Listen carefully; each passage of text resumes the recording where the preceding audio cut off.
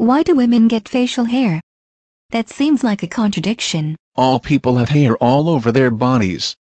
The difference is that the hair on most women's faces is ultra-fine and almost impossible to see. Why do some women get visible facial hair? Many women get a stray dark hair that they'll pull out by the root.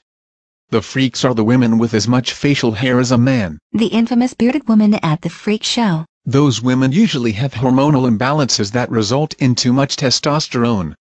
That is why they generally had deeper voices and heavy builds. A man with boobs. Yeah, there were men who posed as bearded women, with a fake set of breasts. But most were women with hormonal problems. It makes PMS seem benign. And the irony is that menopause causes a woman's estrogen level to drop, so all older women are more likely to grow darker, denser hair on their lower face. What's the solution? Shaving works. I'd prefer something permanent, like electrolysis. That only works well on small areas. Under the nose is a small area.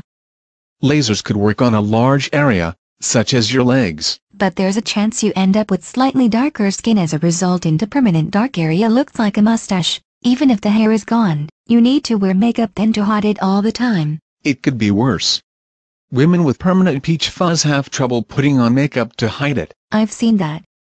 The makeup gloms onto the hairs, making them even more apparent. Now that you've heard about some of the far worse types of facial hair on women, will you stop griping about a few stray dark hairs on your chin?